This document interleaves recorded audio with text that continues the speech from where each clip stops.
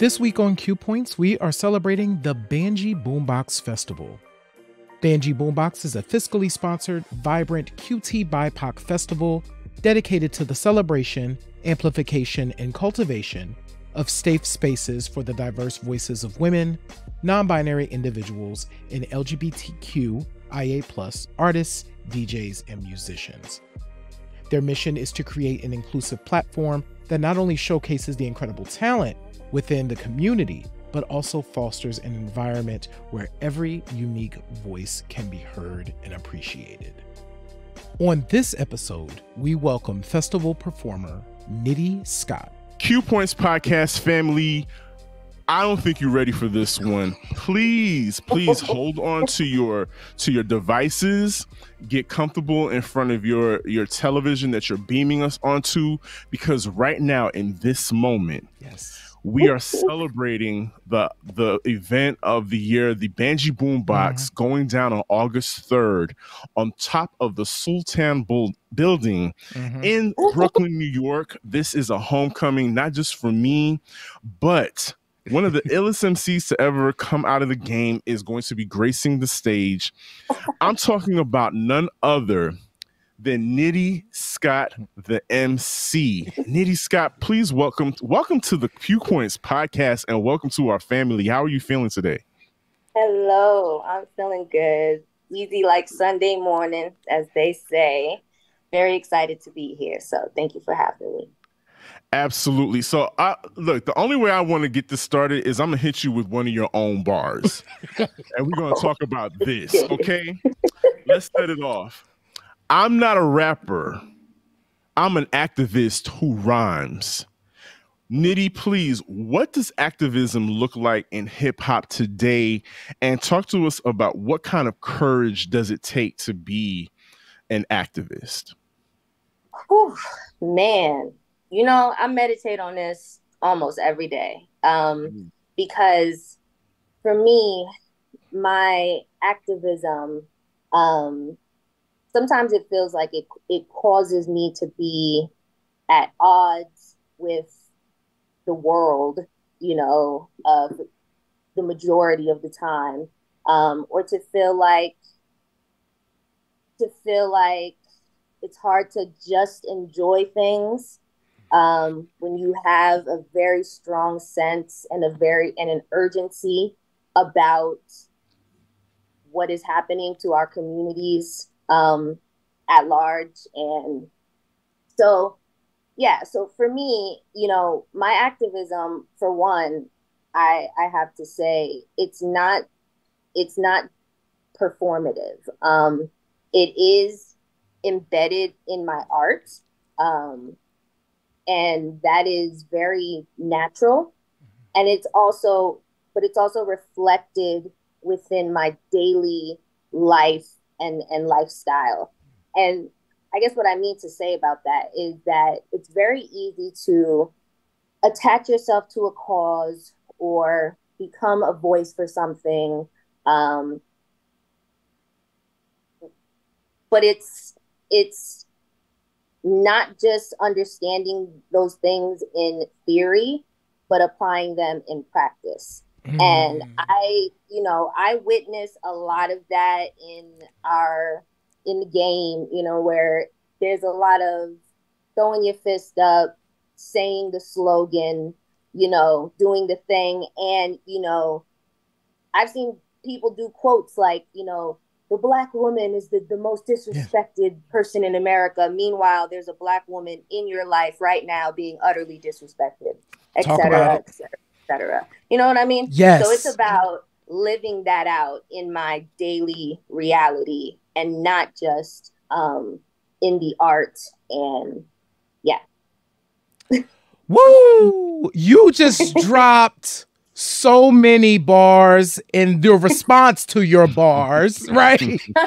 um and that's we see it play out and it's been true for you in your career so if folks if you do your research on nitty scott you will see this this activism pop up throughout your career right so it's not just trend setting in hip-hop the as a musical artist, but also taking hip hop into these other places, right? Academic spaces, other spaces, right? And being able to represent there, right? Yes. So yes. me and Sir Daniel were talking. We were having a really long conversation before as we were uh transitioning into our conversation. And we were talking about um how different hip hop as a um as a, a, a, a commercial culture is how different it is in 2024, right? Um, and in one of those ways that is very different is the visibility and um money making ability of women in the game, right? It's a different level of what's happening. So women are are lucrative in, you know, corporate, you oh, know, the, the industry sees us as lucrative. Yes. So Nitty, can you reflect, especially as a person who has been living this for, you know, as long as you have, right?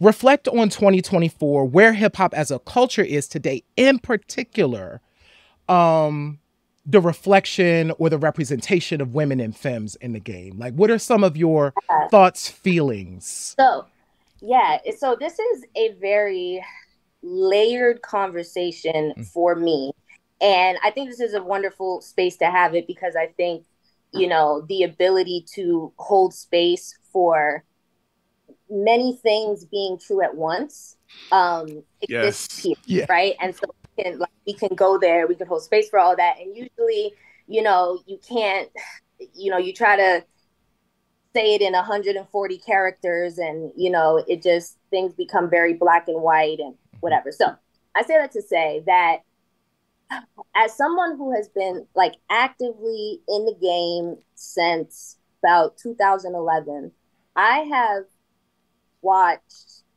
I have watched this evolution sort of happen. And mm-hmm.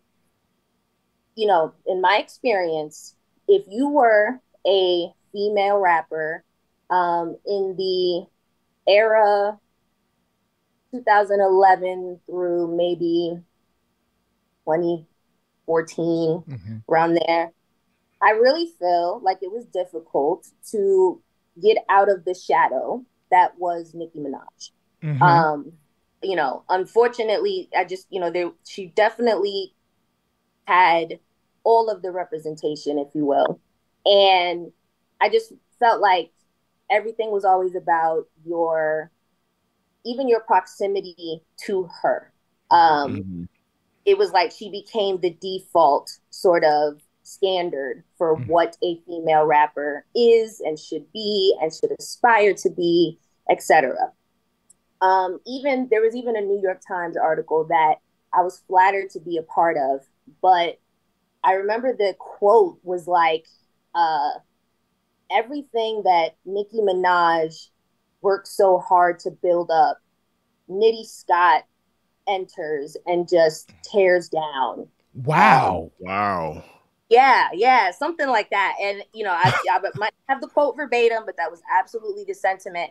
And even though I was appreciating being covered and recognized, I really hated that this specific writer, you know, however they chose to um I mean, okay, well, let me also also say that the article was about Nicki Minaj's influence. So mm-hmm. It, it, was about her influence. So I, I will, I, I, understand the angle. However, I wasn't being, it was almost like my identity in itself couldn't be defined without yeah. saying, well, this is where she is in comparison to that. Yes. Mm-hmm. And I was mm-hmm. like, yeah, like, what's that about?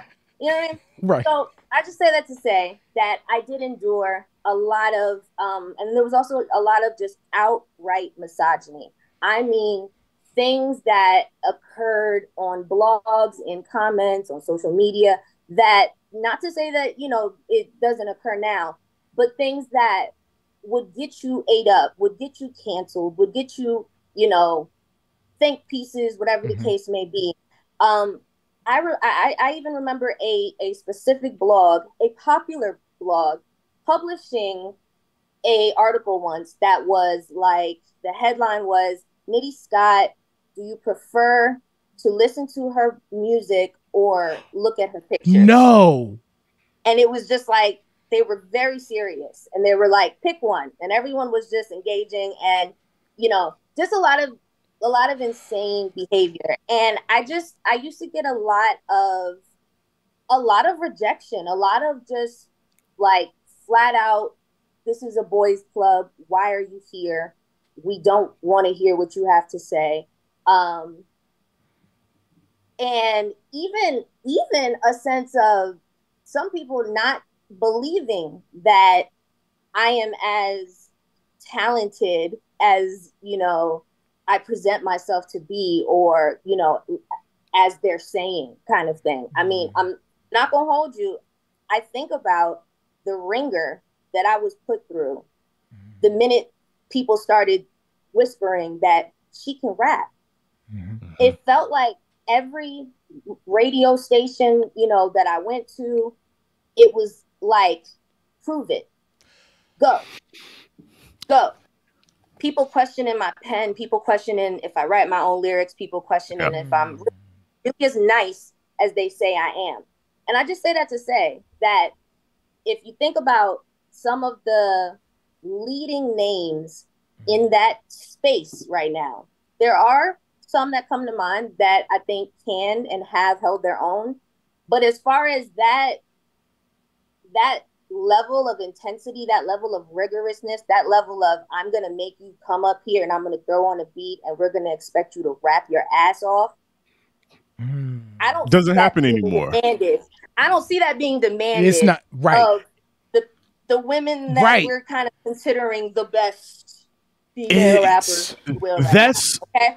I'm just that's I'm wild that you so said that. a lot of hoops to even like I, to to earn yes. my right to like call myself somebody who does this, right? Mm-hmm. And and I feel like there's a lot of erasure mm. of the women that endured that and that continued to give you quality work despite the fact that we don't have that same visibility. Now, I will say that I, you know, am have always been um, deliberately indie, and you know, so that does speak to I think why my journey was always going to be different, mm-hmm. just or um but yeah, but getting back more specifically into into mm-hmm. what we're talking about. So I think it went from having to fight to even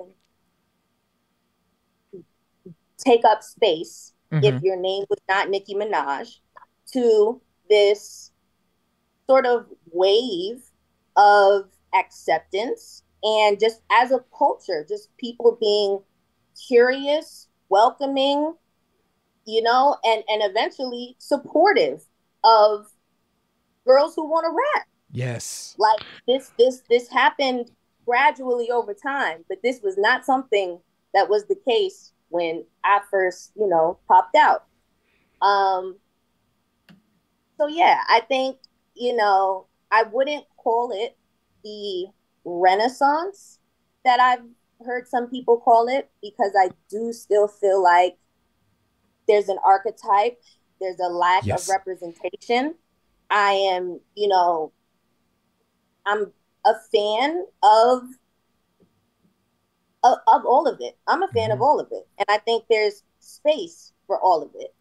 Um, but there is a lack of representation when it comes to just different facets of womanhood um, being being represented, and yeah, so it's been kind of difficult for me to like feel like I'm genuinely happy um, to see women getting these opportunities mm-hmm. and being as visible as they are. And I think being the more progressive like leaders um like musically yes. in the culture right now you know what i mean like i'm here for it and and i even try to not be um what is it called?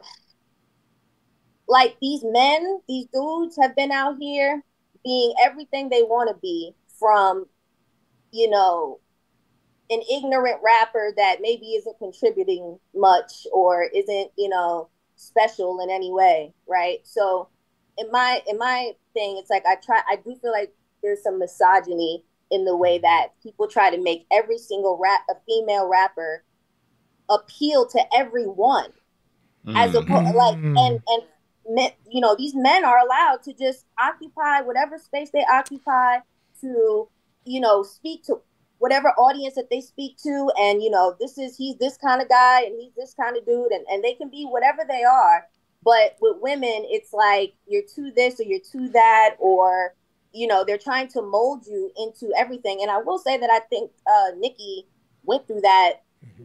While she was like sort of maintaining that spot where i didn't think it was right for people to be like well why can't you be a little more this a little more that well why don't you pay attention to the other women artists out here that are maybe giving you that and mm-hmm. you can mm-hmm. go get you and support that right but instead you're demanding someone to i don't know appeal to you or or anyone else so mm.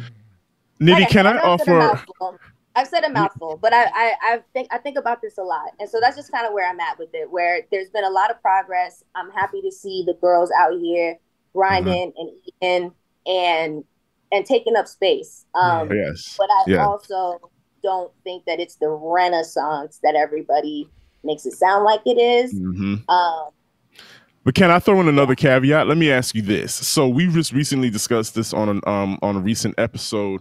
Uh, Lil' Kim just um celebrated, we believe, her 50th, 50th. birthday, mm-hmm. and oh.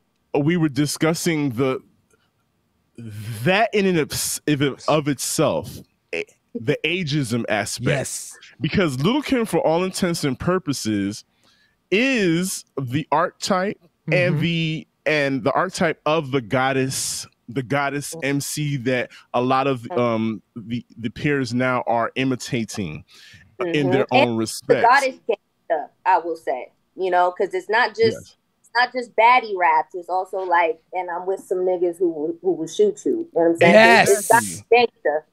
exactly.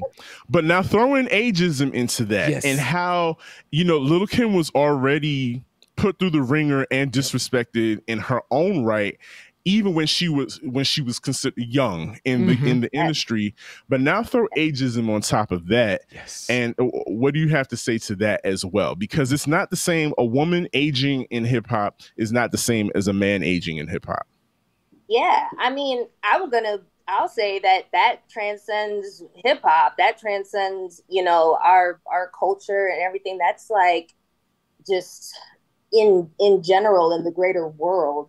Um, you know, women are seen as it's like if you're already objectifying us, then of course you're going to see me as a depreciating asset, right? Mm-hmm. Um, but for me, it's about like you see these yeah so on the one hand it's just you know flat out misogyny and you know but there's also the ageism uh, a specific ageism that is prevalent in our culture where i don't think that we embrace what it means to be seasoned um you know i I understand that hip hop has always um, has always been the voice of youth. Mm-hmm. Like I, I get that youth um, is always gonna like drive things forward, but it's like you look in you you can still see uh you know U2 and the Rolling Stones and all that out here touring old as shit. You know what I mean? with diverse audiences, right? Stages, right? So it's like these artists are being appreciated for their seasoned artistry. And why are we, you know, devaluing our uh you know, forefathers, if you will. Um, you know, why is it that a lot of a lot of the earlier uh rappers that, you know, put put shit on the map, you know, there's there's plenty of them that are not doing well, if you will, you know. Yes. And you know, it's stuff like that that I think is is a shame. And I think we do, you know, as a culture need to um not again, it's nothing wrong with what is new and shiny and exciting and and that will always be there, but there is there is undeniable value. There are gems in people who have stories to tell, people who have survived, people who have, you know, seen things change and evolve. There's so much value in that, and we cannot throw that away. So, um, yeah, we'll always be an advocate for that. Wowza. um, I, I do um you know what? Let's talk about Banjee Boombox because I do want to come back to something, but okay. I think when you start talking about this idea, Nitty, as well, of like creating spaces and having spaces for us to like be our full selves. When you think of a space like Banjee Boombox and you being able to grace that stage with this audience, why, from your perspective, is it important that spaces like that exist? Um, because this is also something that we've needed. I can't imagine for us growing up what it would have been like to have a space like a Banjee Boombox where you could come and be your full self, right? So talk yeah. about that. Why is it important that these spaces exist? Yeah, that would have changed the game, man. So, you know, for for several reasons. For one, um, community. You know, just we need community. I need community badly. Um, we all do, and it's important to facilitate that um, amongst ourselves, and and also for solidarity mm-hmm. um, amongst uh, amongst us with, within you know what what we got going on because mm-hmm. we are up against you know a a world that doesn't want us to exist um, doesn't want us to be happy healthy you know celebratory any of these things. So it's you know it's very important i think to be like just as just as serious about that as we are about like working and getting to this money and you know all, all that good stuff. Like being just as enthusiastic about like curating community mm-hmm. um and and and villages um because it's a really critical time it's a really critical time to yeah. to that as well can you tell us a little bit what should folks expect from nitty scott at this year's performance at Banjee Boombox. What you bringing, Nitty? Uh, so I am just bringing like real Afro Latina girl realness. You already know bruja vibes all day. Um, and we're gonna take a little trip. We're gonna take a little trip. So I'm gonna give them some some Nitty Scott gems that you know the people who've been rocking with me will definitely be excited about um, yeah, we'll take a little trip down memory lane and um, yeah, and then we're gonna bring it all the way up to the now. And uh, yeah, I'm just gonna I'm just gonna have a lot of fun. I'm gonna have a lot of fun. I mean, I feel like we could we can continue talking forever because there's just so many things in the landscape right now when it's whether it's happening in front of the camera mm-hmm. or behind the scenes like just the the culture as a whole is just going through I don't know, it's going through some growing pains, pains. but I would not expect anything less because of the country that we're in. Right. You know, right. we're we're in this country. We are experiencing you know what I never thought I would be experiencing in this moment, Nitty, is this this xenophobia that's popping up within the culture. culture. You know, right. this whole this whole argument about who, who was here first. first. It's um, wild. Do, do do immigrants have a, a stake in the game? and, and it's wild to me. Yes, I came to this country at two years old, but I have a stake in this in this culture too. It's wild, like how Wow. What What are you experiencing in yeah. this moment when you feel when these things keep popping up, these little thorns, these and it's always these grifters. It's people that are it's not great. really invested and love this love the culture. It's these grifters that are coming to cause dissension so that they can yeah. make a coin. Right, and division mm-hmm. and and profit off of the the chaos and inciting anger, right? Mm-hmm. And like like I think it's all about like triggering triggering people and and distracting us from the work that needs to be done because i feel like it's kind of like if i keep you divided pissed off frustrated you are not going to have the capacity the energy even the information right to dismantle anything hmm. so yeah Mm. Yeah, your uh your attention is currency. Right. Ooh. Yes. Yeah. Bar. we right. Gotta, bar. we gotta be stingy with that energy, baby. Stingy. Mm. Yeah. Nitty Scott constantly dropping gems, both on wax and in interviews. What? Thank you so much for taking time out of your day to come here and hang out with us. Nitty Scott is going to be on stage, y'all, at Banjee Boombox August 3rd at the Sultan Room in the planet of Brooklyn. Queue Points is also going to be in the building. Please, please, please come through. Nitty, where can folks keep in touch? Where do you prefer that folks come and get stay in touch with you and connect with you?